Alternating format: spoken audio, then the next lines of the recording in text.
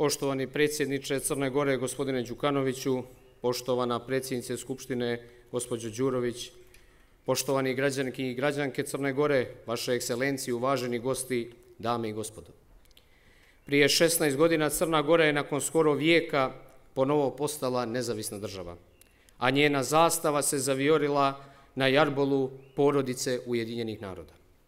Proces njene obnove nije bio ni jednostavan ni lak, već prožet brojnim pitanjima i različitim pogledima na crnogorsku budućnost. Ipak, dok se u našem neposrednom okruženju o državnom statusu odlučivalo oružjem, crnogorski građani, pokazavši zrelost i tolerantnost, obnovili su nezavisnost perom. Vjekovni suživot našeg društva položio je veliki ispit.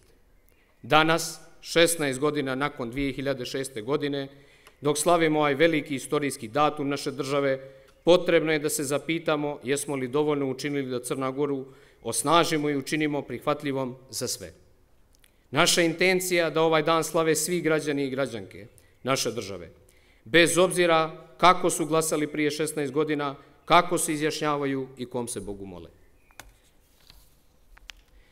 Zato me posebno raduje to što su tu večeras i vi koji ste 2006. godine budućnost Crne Gore drugačije vidjeli. Predstavnici svih nacija i vjera. Tvrdim da bez svih nas nema ni pomirene i razvijene Crne Gore.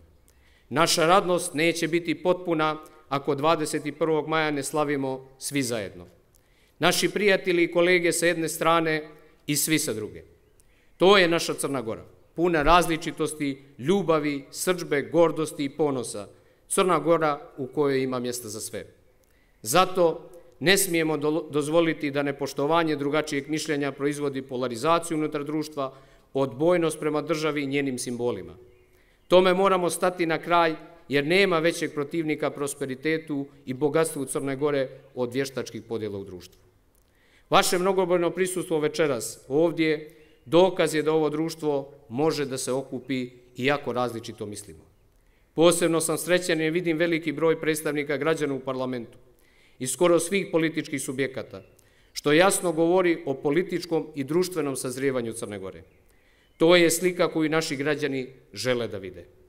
Time šaljamo poruku svijetu da je Crna Gora ujedinjena i odlučna da krene naprijed.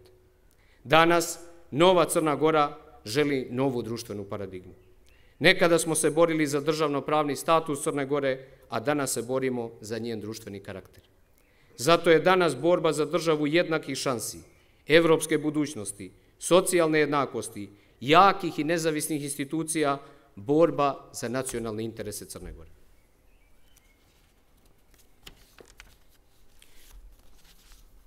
Upravo zbog toga želim da se Crna Gore sjetimo češće i da ljubav prema njoj iskazujemo svakodnevno, poštujući njen ustav, zakone i institucije, plaćajući porez, čuvajući njenu prirodu i sva njena bogatstva.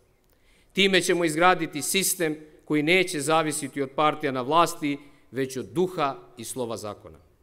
Zemlja vladavine prave i funkcionalnih institucija, sistema i ideal od kog Crna Gora ne smije nikada odustane. Što su one jače, jača je i Crna Gora.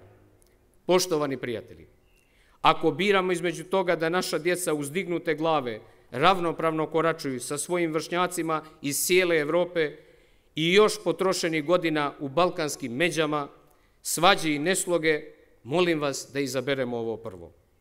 Nemamo luksus da još jednu generaciju izgubimo u balkanskim suludostima i vjetrometinama. Duboko sam uvjeren da smo oko ovoga pitanja složni. Crna Gora mora nepokolebljivo koračati evropskim putem, gdje će život svake njene građanke i građanina biti znatno bolji i kvalitetniji. Crna Gora je zemlja različitosti. To je njeno najveće bogatstvo, mogućnost i šansa. Prihvatimo i naučujemo da razumijemo jedni druge i neće biti spoticanja na putu do naših ciljeva. Nezavisno smo obnovili, Hajde da obnovimo i preporodimo naše društvo, da obezbijedimo životni standard dostojan budućnosti naše djece. Možda su nam putevi i načini drugačiji, ali cilj je apsolutno isti. Bolja i Evropska Crna Gora.